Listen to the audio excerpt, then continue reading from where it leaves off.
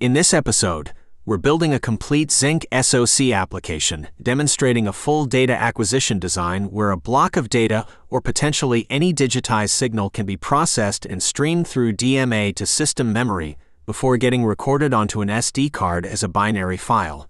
The application is validated on the PYNQ Z1 board.